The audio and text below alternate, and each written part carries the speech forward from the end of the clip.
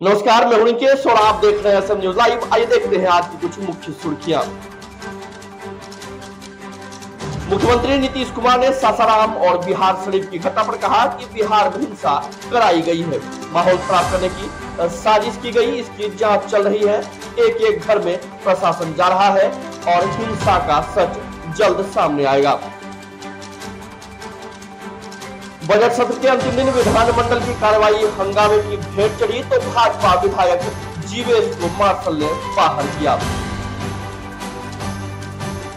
भोजपुर के चर्चित इचड़ी नरसंहार में करीब 30 साल बाद कोर्ट का फैसला आया।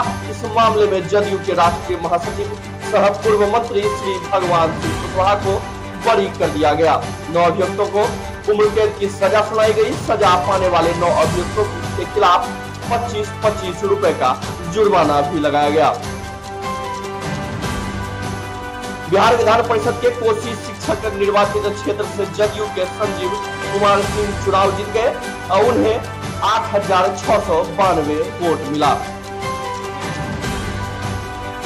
सुप्रीम कोर्ट ने बुधवार को कहा कि सरकार नीतियों की आलोचना करने को सत्ता का विरोध नहीं कहा जा सकता। इसी टिप्पणी के साथ मलयालम समाचार चैनल पर केंद्र द्वारा लगाए गए प्रतिबंधों को खारिज कर दिया। राज्य भर में तकरीबन 10 लाख मीटर जले और खराब पड़े हैं। मीटर खराब होने से उपभोक्ता अपना बिजली, बिल जमा नहीं कर पा रहे। इससे बिजली कंपनी को बड़ा नुकसान उठाना पड़ रहा है। बिजली कंपनी ने इन 10 लाख जले या खराब मीटर को 100 दिनों में बदलने की योजना बनाई है।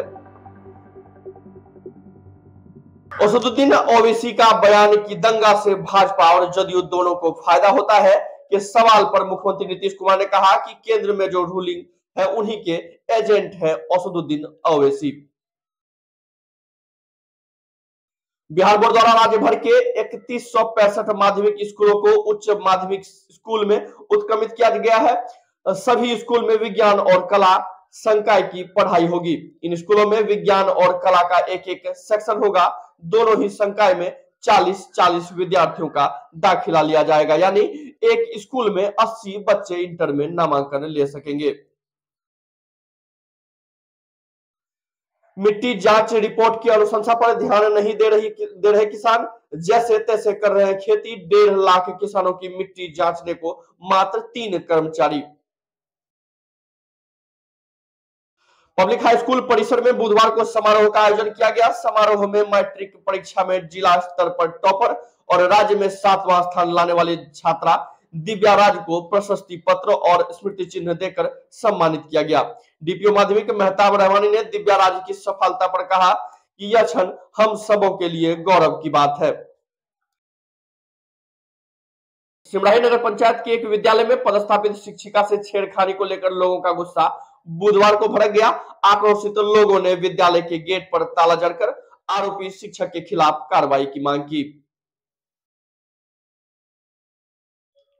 बसंतपुर में कांग्रेस कार्यकर्ताओं की बैठक हुई। इसकी अध्यक्षता प्रखंड अध्यक्ष जगदीश प्रसाद गुप्ता ने की। कांग्रेस नेता डॉक्टर तारानंद सादा ने कहा कि कांग्रेस से कार्यकर्ता लोकतंत्र बचाने के लिए हर कुर्बानी देने को तैयार है। तो आज के लिए बस इतना ही। दीजिए इजाज़त। धन्यवाद।